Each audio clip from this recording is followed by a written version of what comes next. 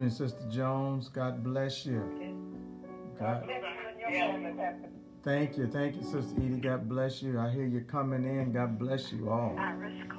Sister Cooper, God bless you, dear. Amen. Thank you for you all's prayer and support and prayerful support. Amen.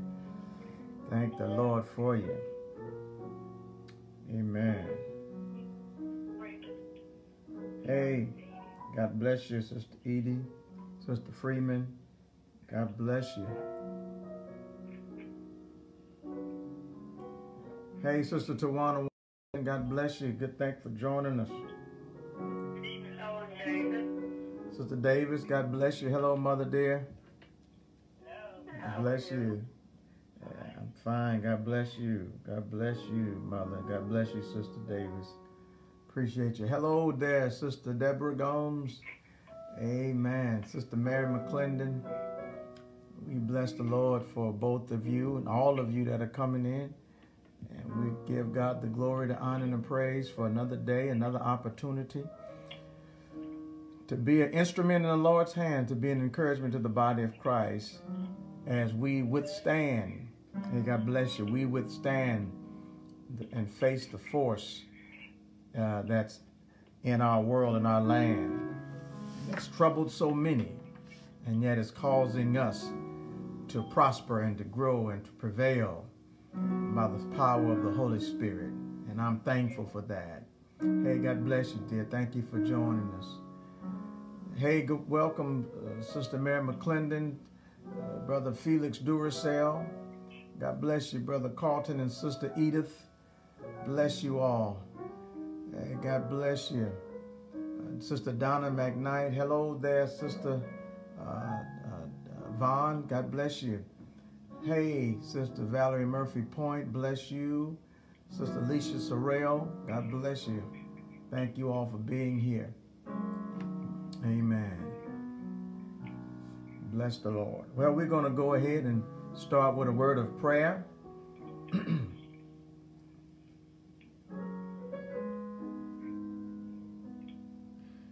the Bible declares that Jesus said men ought to always pray and not faint. Paul declares that we ought to pray without ceasing.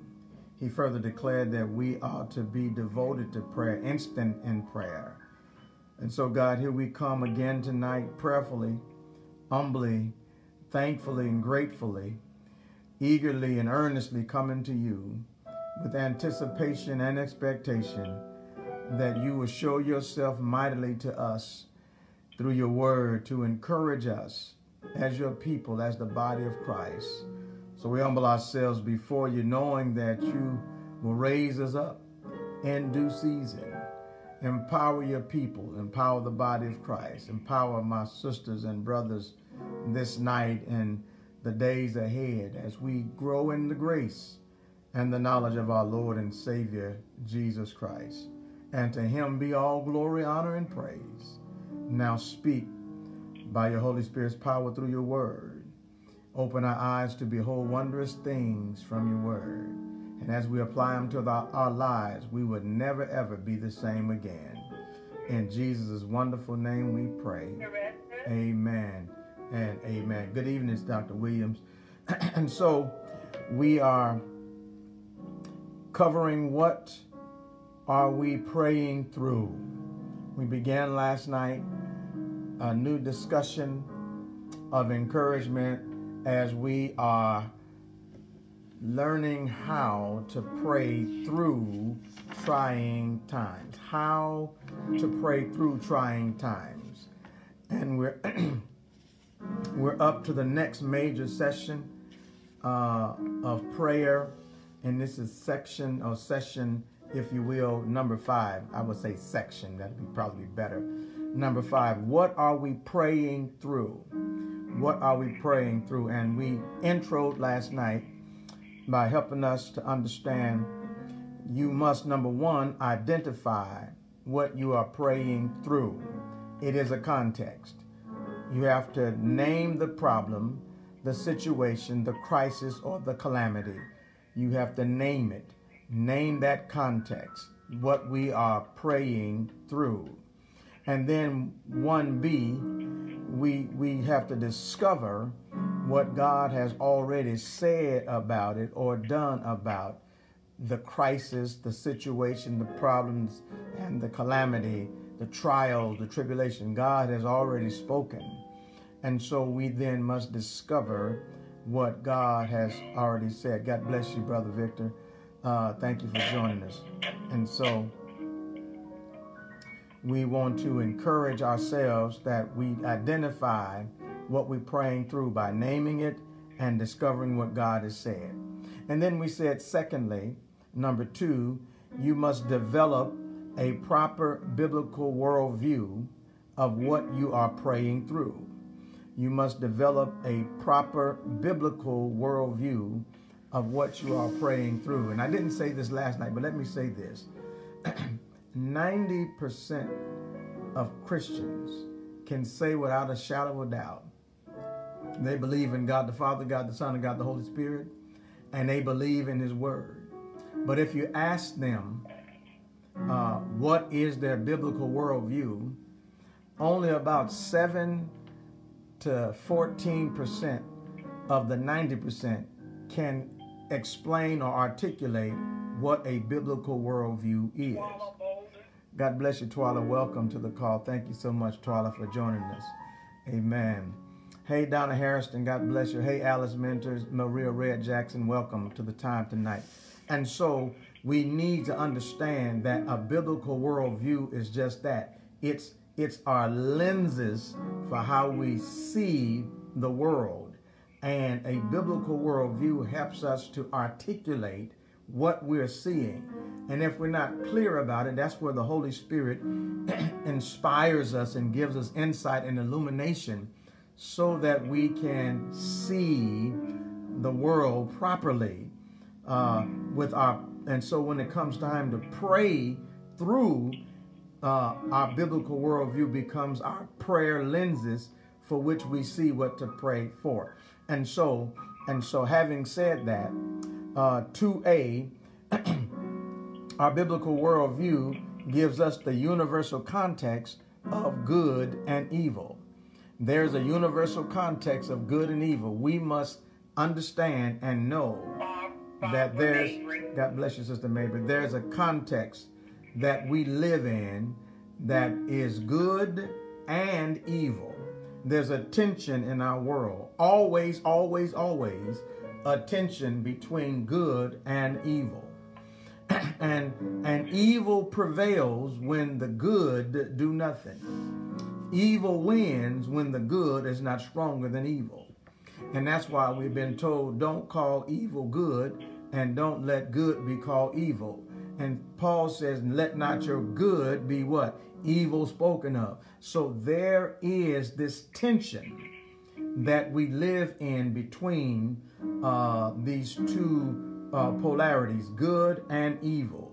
And so, uh, one, uh, 2b, why does God allow good and evil to exist, to coexist? Since God is always, always, always good and God is omni everything, why does God allow good and evil to coexist and evil oftentimes to take advantage of the good? Why does God allow that? Well, uh, to see, we said, God allows it because humans are caught between good and evil. And they're caught between good and evil only for one reason and one reason only free will. All right? Free will. God has given humans the freedom to choose. It's called human liberty. Amen. God, God bless you. Hey, Pastor Bazemore, Brother George Porter, welcome y'all. Sister Gail, welcome. And so God does this. God allows it because if God uh, were to wipe out evil, uh-huh, then guess what? He'd have to wipe every human being out. And so we're caught in between both good and evil. Yeah, uh, uh, because we have in our flesh no good thing. There's a war going on inside of us. Yes, we are saved. Uh, uh-huh, but but remember, there's a law in our members that's warring against and it's good and evil. And so the the the the, the watch this. The one we feed the most is the one who uh, dominates. Amen. And, and so Paul tells us that's called a law.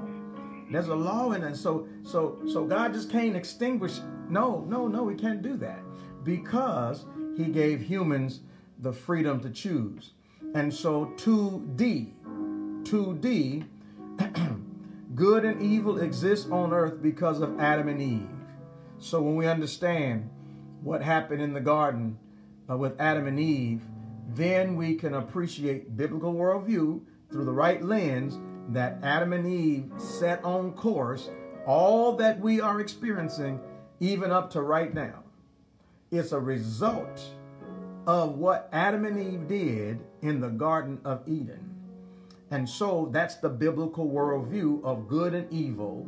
And watch this, and sin and its perniciousness and its domineering effect on who we are as created in the image of God. We had a perfect image, but it's a fallen image, yet we still have the image of God on us. All right? And God has made us in his likeness. And so God does not wipe us out. Uh, he he he lovingly endures. We said the other day, he lovingly endures uh, this grief and this burden that humanity has caused and given to him because he's got a he's got a great and awesome plan. And God's plan is for the benefit and the betterment of man. And, and we know that when we get into the study of the New Testament, you all know how to articulate that, so I'm not going to deal with that. And so we begin to read uh, from the two covenants. And I didn't mention this last night.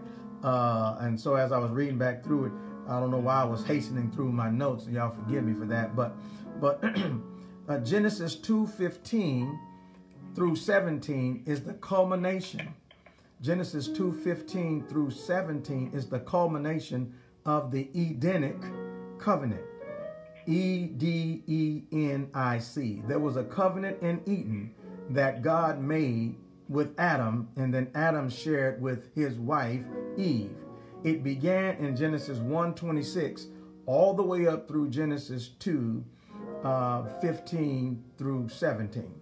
And so, uh, and and when you when we read that last night, and we read that in the uh, Amplified Bible, we saw that what happened. And when they violated that covenant, and remember, covenants with God and covenants that are established by God uh, are broken in only one way, and they're broken by death. Uh-huh. They're broken by death. And so when Adam and Eve sinned, they first of all died spiritually, and then secondly, they died physically. And so there was a death that occurred. And so therefore, God had to put in place an ultimate covenant, and we talk about that. But let me say this the second covenant is what we've been reading about. And we didn't, I read up to the point, and I told you I'll pick up on it tonight. Uh, we stopped up at verse um, uh, verse 13. Uh, and the woman said, and the Lord said to the woman, What is this you have done? And the woman said, The serpent beguiled, cheated, outwitted, and deceived me, and I ate. Now, beginning at verse 14, we now begin to hear God give another covenant, which is called the Adamic covenant, named after Adam for being man or human. Adamic covenant, A D A M I C. The Adamic covenant begins at verse 14. This is what he says. And the Lord God said to the serpent, Because you have done this, you are cursed above all domestic animals and above every wild thing of the field. Upon your belly you shall go, and you shall eat dust and whatever it contains all the days of your life. So we automatically see right there that Satan, uh, the, the serpent was cursed. And part of the serpent's curse was that he would he lost his beauty uh, because when we read chapter one, chapter six, chapter three, verse one following, Satan was a beautiful. I mean, the serpent was a beautiful creature. All right, uh, and and he he lost uh, the serpent lost its beauty. All right, it was subtle and crafty and a living creature. It had beauty and it was very attractive. Uh, but now in the curse, uh, it now must go on its belly. It used to stand upright. Uh, now it's on its belly and it eats the dust and whatever is found in the dust. That's what he would live on uh-huh, uh, all the days of his life. that's, that's part of the Adamic covenant. Then he continues on with the devil, and I will put enmity between you and the woman, and between your offspring and her offspring. He will bruise and tread upon your head. Un, excuse me. He will bruise and tread your head underfoot, and you will lie in wait and bruise his heel. And so this is now the first prophecy of Jesus Christ, the first evangelistic witness that God would send Jesus to destroy Satan and his works. And, and that's a prophecy. And then he said, so this 14 and 15 is the serpent and what would happen in relationship between man and humanity and the serpent. Many people are afraid of snakes. I, will be honest, I, I, am not afraid of all snakes, but there's some snakes I'm afraid of. The poisonous kind that bite. so I just want you to know. Uh, uh, the, the little garden snakes, I can handle those. those. Other snakes that don't bite and not poisonous, I can live with them. But anyone that bites and is poisonous, you got a pastor that's going to run from that snake. Uh, or, or, make sure that snake is taken care of, handled up, and dealt with uh, while, while, with some power uh, that I know is going to be dead, right? And so, and so there's this tension. Here it is. There's this good evil tension, even in this. I hope you see where I'm going with that. And then he said to the woman, I will greatly multiply your grief and your suffering in pregnancy and the pains of childbearing. With spasms of distress, you will bring forth children. Your desire and craving will be for your husband, and he will rule over you. And this desire and craving means desire and craving for his position. And so, see, if it was if it was if it was romantic desire and craving, then it would make sense. But but but the next statement tells uh, what the problem is. And watch this. And he will what rule over you. See, and that means because you wanted to be in his place, then now you're subjugated uh-huh, until, watch this, until the end of time, positionally, not creatively, but positionally. And that's always been a tension, and it still is a tension. All right, and and and that's another day for another discussion. Verse 17, and he said to Adam, because you have listened and given heed to listen to this, the voice of your wife. So who should Adam have been listening to? He said who was listening to the voice of God. And but when he heard the voice of God, he ran. Why? Because he heard the voice of his wife and she convinced him to eat. And so God calls out Adam's problem. He calls out Adam's problem. And it's a universal Adamic covenant that oftentimes, not all the time, but oftentimes, uh, it's a problem uh, when men are lured away from their responsibility with God. And so, and so he said, watch this, you have listened to the voice of your wife and have eaten of the tree which I commanded you. He didn't say I commanded y'all. He said I commanded you, saying you shall not eat of it. The ground is under a curse. Notice what's been cursed. The ground is under a curse. Oh, wow. Adam and Eve are punished. The serpent is cursed. And all the creation is cursed. Adam and Eve are punished. It's their punishment. People call it a cursing. Never hear he never hear God say curse to Adam and Eve.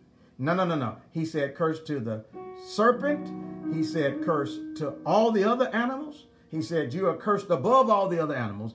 And now you're cursed above, and, and, and watch this, and the whole creation is cursed. That's why Paul says in Romans 8, 20 and 21, that the, the, the earth creation is groaning because of the curse that Adam and Eve put it into. And they're waiting for deliverance of the sons and daughters of God. And so it goes all the way back to this Adamic covenant. But this Adamic covenant has cursing in it. Amen. And so it's cursed. And it's the curse because of you. In sorrow now and toil, you will eat of the fruits of it all the days of your life. Thorns and thistles also shall it bring forth for you, and you shall eat the plants of the field. In the sweat of your face you shall eat bread until you return to the ground. For out of it you were taken, for dust you are, and to dust you shall return. The man called his wife's name Eve, life spring, because she was the mother of living.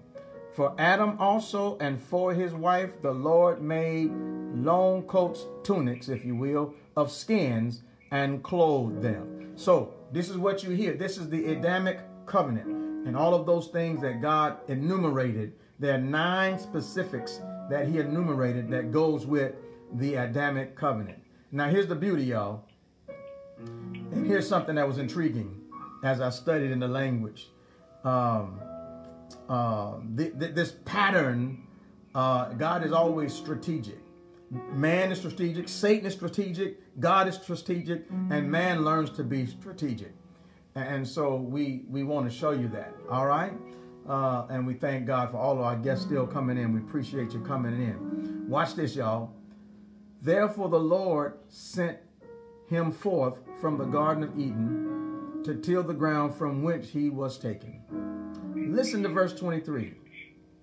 So God drove the man, and so God drove out the man, and he placed at the east of the Garden of Eden the cherubim and a flaming sword which turned every way to keep and guard the way to the tree of life. God realized that the tree of life was still accessible to Adam and Eve. And if Adam had gone and taken a bite from the tree of life, he would have been perpetually lost. He would be perpetually locked in evil. He would be perpetually done for. And there would be nothing that God could do to undo that because of the choice that Adam made and would have locked everybody into that eternal life of evil. Thank God he drove him away out of the garden and then put a, a, a cherubim, all right, and put cherubim, and, and, and these are angels. These are fighting angels, warring angels, with a flaming sword which turn every which way to keep them out of the. In other words, uh, east, west, north, or south, as some scholars would say, there was no way into this place without access to God. And so that's how it is today. You don't have access to God except through one way, and that way is Jesus Christ. And so God, God had a plan. Uh, that eternal life can now still be uh, enjoyed and can still be experienced. That is, watch this, y'all. That is the context. Every time we look at an issue in life, it begins at the beginning. But what your lens that you have, it may not immediately register, but you got to understand evil, suffering, good, bad, uh, whatever, all is a part of God's ultimate plan before the foundation of the world. So that's the lens by which we must now look at stuff. Now, having said that, let's hasten on. Letter E, 2E. Satan's temptation of humanity established his pattern and methodology for dealing with humanity. Satan's temptation of Adam and Eve established his pattern and his methodology for dealing with humanity. There are four methods that you find in verses 1 through 6. In verses 1 through 6, there are four uh, methods that Satan has established that never ever changes. They're always the same. Satan has a methodology and he has four methods that he uses all the time. That's why it's key for us to know it. That's what the biblical worldview comes. I'm giving you a biblical word because once you see this, you'll see Satan wherever he is, he's doing these four things all the time. Number one, verse one, it says, Now the serpent was more subtle than crafty living creatures of the field that the Lord God had made. And he, Satan, said to the woman, Can it really be that God has said, You shall not eat from every tree of the garden? The first thing Satan does, he questions God. The questioning of God is Satan's number one methodology. The questioning of God in order to distort the truth. Questioning of God is distorting the truth, casting doubt on the word of God. Now remember, here's the law first mentioned. The very first law of Satan and his subtlety and his ways is questioning God and distorting the truth. Questioning and distorting the truth. In other words, bringing doubt to the human, human mind about the word of God. All right? That's what Satan does. Okay? And so, watch this. By the way, let me let me share this. This piece right here helps us. Do you not know Satan is powerless over us until we assent and give consent? He can't do anything to us unless we assent. He's gotten permission to go roaming throughout the earth, right? But he cannot have access unless we assent or consent to it, right? And, and, and that means to let him have authority over us. No, no, no. He doesn't have authority over us. All right. That's right. We have to give in to him. And so, so, so man gave in. Adam gave in. Eve was deceived, but Adam gave in. And so Eve assented and Adam consented. Assent, consent. You see the language there. And so that's the number one methodology. Number two, all right, contradicting God. Contradicting God. That is denying God's word totally. And by the way, this is a natural result of questioning God. If you continue questioning God, the natural result is you're going to ultimately deny God. Because if you don't get the answer from God like you think you should get, and you still questioning, then you come to the point where it must not be true. Right? And that's that's a natural that's what Satan wants. All right, you find that in verse number four, questioning God. Listen to what listen to what he says. But the serpent said to the woman, "You shall not surely die.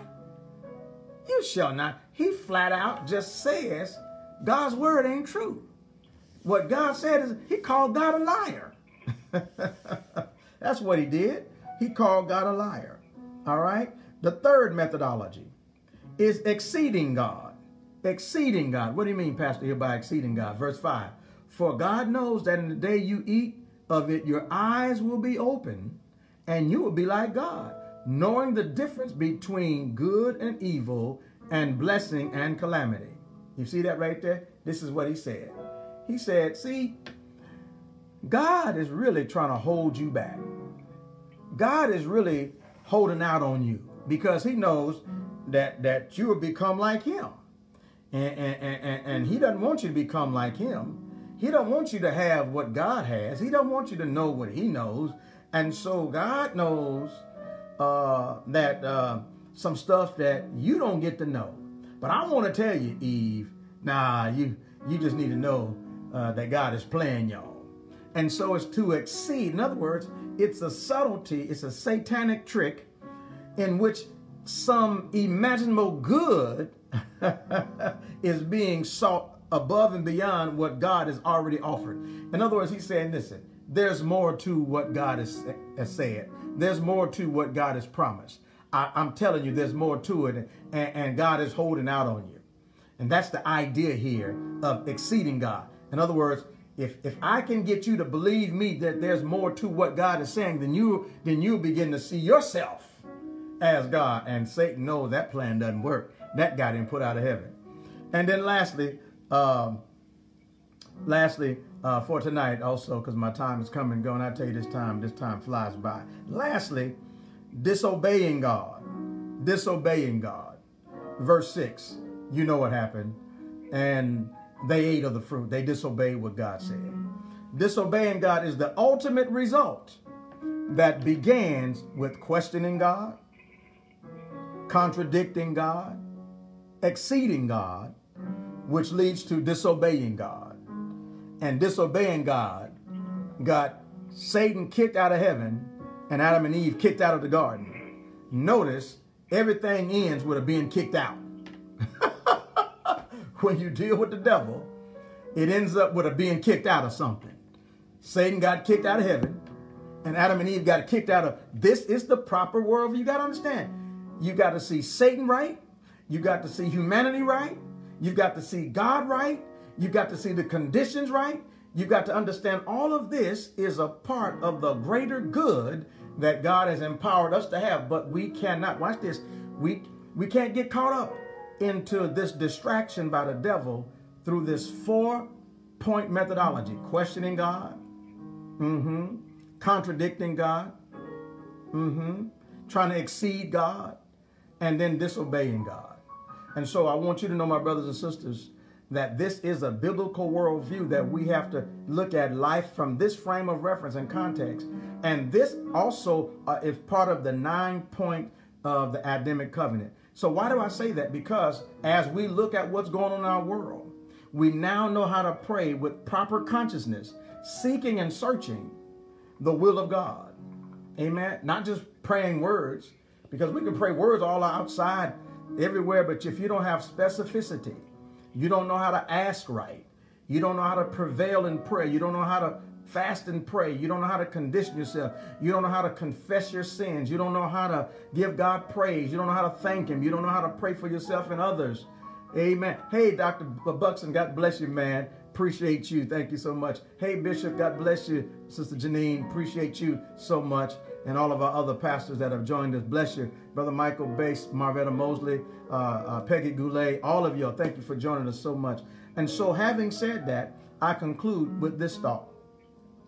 When we understand the purpose of God for humanity, and when we understand what was offered with the Edenic covenant and what was violated and terminated, and what's now in the Adamic covenant, or the Adamic covenant, however you want to say it, uh, uh, now you got a perspective. Watch this. You have a prayer lens, a biblical context by which you see the world and by which you now seek and search for God's will to be done. And your prayer life is crucial and critical as we are praying through something.